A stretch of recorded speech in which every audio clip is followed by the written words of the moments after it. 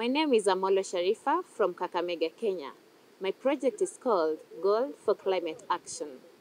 Our mission is to create sustainable communities and empower grassroots communities with ability to lead change in climate action, gender and social justice for all. Gold for Climate Action majorly bases on artisanal gold miners in the gold mining sites of Ikolomani. The miners have to cut down trees, dig shafts, use mercury for them to extract gold and make it ready for sale. Widespread informalities of artisanal gold mining is one of the many reasons that contribute to negative social and environmental consequences within the sector.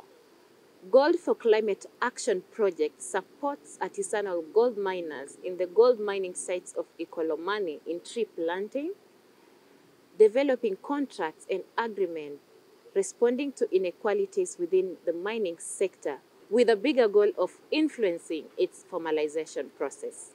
Thank you.